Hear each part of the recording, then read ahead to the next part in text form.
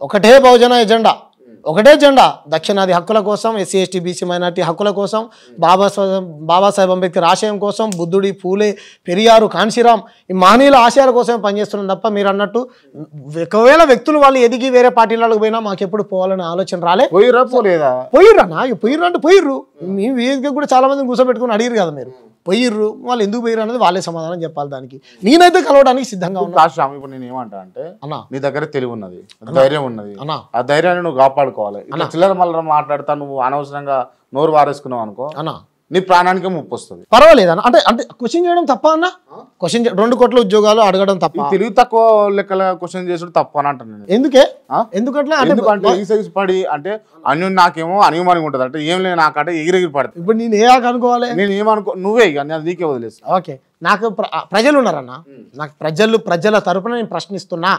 ప్రజల తరపున నేను ప్రశ్నిస్తున్నా. సో మీరు ఇస్తున్నటువంటి హామీలను నెరవేర్చండి. మీరు పదేళ్ళు అయింది అధికారంలోకి వచ్చి.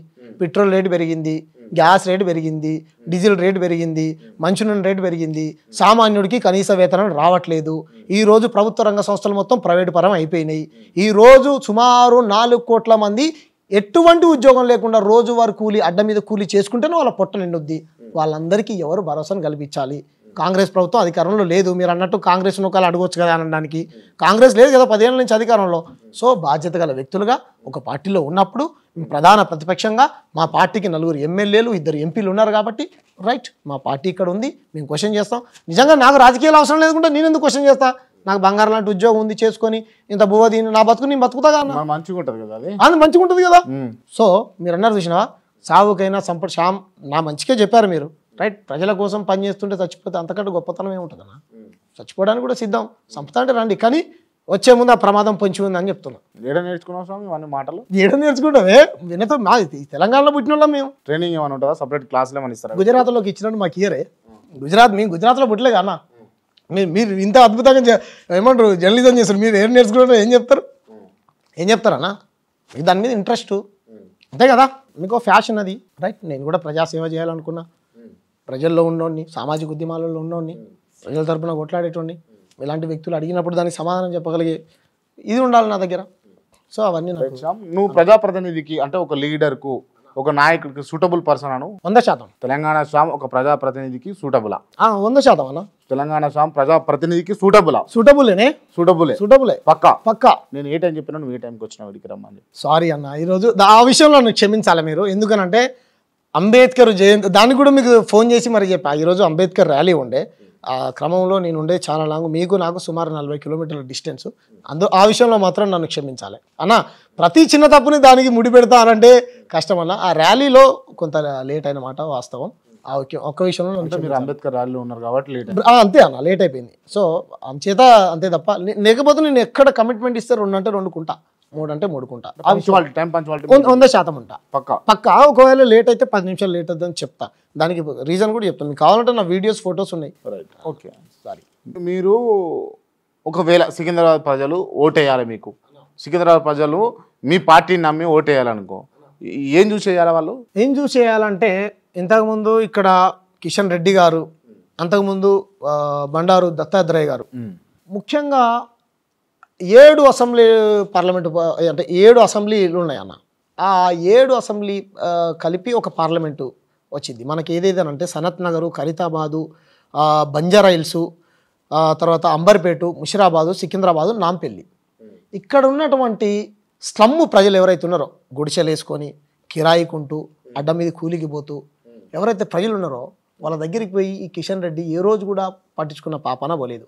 మేము ముషిరాబాద్ దగ్గర ఉన్నటువంటి వివేకానంద నగర్ దగ్గర సుమారుగా ముప్పై ఏళ్ళ నుంచి గుడిచెలేసుకొని బతుకుతున్నటువంటి ప్రజల దగ్గరికి పోయినాం. ఎందుకనంటే అక్కడ గుడిసెలు కూలగొట్టారు. రోడ్డు కన్స్ట్రక్షన్ చేస్తున్నామని. మరి అంత పెద్ద కేంద్ర మంత్రిగా ఉన్నటువంటి నాయకుడు పోయి వాళ్ళకి భరోసానిచ్చి మీకు ఇక్కడ ప్రభుత్వంతో మాట్లాడి డబుల్ బెడ్రూమ్ ఇల్లు ఇస్తా అని చెప్పాలి కదన్నా? కానీ మేము పోయి నిలబడ్డాం. సో అక్కడే పక్కనే ఉన్నటువంటి డ్రైనేజ్ సమస్య ఉన్నది. ఆ పక్కనే ఉన్నటువంటి గవర్నమెంట్ స్కూల్లో పిల్లలకు టాయిలెట్స్ లేవు. ఇటువంటి రకరకాల సమస్యలు ఉన్నాయి. వీటిలో ప్రజల్ని పట్టించుకోవడంలో కిషన్ రెడ్డి గారు ఫెయిల్ అయ్యారు. అందుచేత ప్రజలు ఏమంటాం మా పార్టీ రకరకాల కార్యక్రమాలు ఏవైతే అక్కడ చేసిందో తమిళనాడులో భూమి లేనటువంటి ప్రజలకు భూమి పంచింది. కులాంతర వివాహాలు చేసుకున్న వాళ్ళకు పదిహేను వేల రూపాయలు ఇచ్చింది. ఎస్సీ ఎస్టీ సప్లాన్ నిధులు తీసుకొని వచ్చింది. కనీస వేతనం ఇచ్చింది. అక్కడ ఉన్నటువంటి ముస్లింలకు క్రైస్తవులకు బీసీలకు దళితులకు ముఖ్యంగా ట్రైబల్స్కు అందరికీ అండగా నిలబడ్డది. మా నాయకుడు అక్కడ చేసినటువంటి పనులు ఏవైతున్నాయో అక్కడే ఈ సికింద్రాబాద్ పార్లమెంట్ పరిధిలో అమలు చేయాలనుకుంటున్నాం. అందుకే వయసులో చిన్నవాణి కావచ్చు మీరు అన్నట్టు మీకు సేవ చేసుకునే భాగ్యాన్ని నాకు కల్పించండి ప్రజలారా మీ సమస్యలు అయితే ఏవైతున్నాయో అవన్నిటినీ మా అధ్యక్షుడితో మాట్లాడి తీర్చేటువంటి బాధ్యత నాది. ఇదే ఎజెండాతో నువ్వు ప్రజలకు పోతావు. అవును. మా అంటే మేనిఫెస్టో. ఉంది. మా మేనిఫెస్టో ఉంది చాలా పెద్దగా ఉంది. ఇవన్నీ సాధ్యపడతాయా శ్యామ్? అంటే అన్ని రాజకీయ పార్టీలు హామీలు ఇచ్చి వదిలేస్తాయి అన్న ఏదో ఊకదంపుడు ఉపన్యాసాలు ఇచ్చి కాంగ్రెస్ మనం చెప్పేది ఉపన్యాసం లేదు అంటే నేను- అదే చెప్తున్నా. అన్న అక్కడ అమలు చేసింది అక్కడ అమలు చేసింది మీరు ఒకసారి కొట్టండి. వీరికి ఎంత పెద్ద నాయకుడు కాకపోతే మా నాయకుడిని స్టాలిన్ గారు కూటమిలో ఉంటారు అక్కడ బలంగా. ఇక్కడ కేసీఆర్ గారు విగ్రహావిష్కరణకు పిలుచుకుంటారు. సార్ ఇక్కడ పిలుచుకుంటారు. మీ సపోర్ట్ కావాలని బీఆర్ఎస్గా రూపాంతరం చెందినప్పుడు. రాహుల్ గాంధీ గారు ఎందుకు మా నాయకుడిని నమ్ముతారు? మీరు ఏదైనా చెప్తే చేస్తారు కమిట్మెంట్ కలిగినటువంటి వ్యక్తి మీ పార్టీ కానీ మీ పార్టీ సిద్ధాంతం కానీ అని చెప్తారు. మా పార్టీలో బుద్ధుడు Karl Marx Periyar doctor Babasaheb Ambedkar వీళ్ళందరూ ఉంటారన్న. ఒక దంపెడు ఉపన్యాసాలు ఇచ్చి మేము మాటలు చెప్పి వదిలేసే వాళ్ళం కాదు. ఎంత నీ దగ్గర డబ్బులు ఎంత ఉన్నాయి ఇప్పుడు? నా దగ్గర డబ్బులు అయితే ఏం లేవన్నా. అంటే ఇప్పుడు జేబులు అంటున్నావా? అంటే జేబులు అంటున్నావా? ఎలక్షన్ కోసం అంటున్నావా? ఎలక్షన్ కోసం జేబులో కూడా. నేను చాలా ఇంటర్వ్యూస్లలో ఇంతకుముందు కూడా చెప్పినా నా దగ్గర అయితే డబ్బులు ఏం లేవు. నేను ఉద్యోగం చేసుకునే డబ్బులు తప్ప నా దగ్గర రూపాయి కూడా డబ్బులు లేవన్నా. మరి ఎట్లా మరి? ఇప్పుడు పొద్దున లేచి. ఇందాకనే నువ్వే చెప్పినావు. అన్నా. టీ కాంచెల్లి మార్నింగ్ టీ కాంచెల్లి ఈవినింగ్ డిన్నర్ దాకా లేదు లేదన్నా కూడా ఓ యాభై వేలు అయితే ఒక రోజుకైతే ఖర్చు అవుతాయి ఒక ఇరవై ముప్పై మందిని తీసుకొని పోయి తిరుగు తిరిగితే. ఓ పదివేలు అయితే అన్న. యాభై వేలు కావాలి ఓ పదివేలు తిరగొద్దా? తిండికే కాదు తిరగాలి కదా.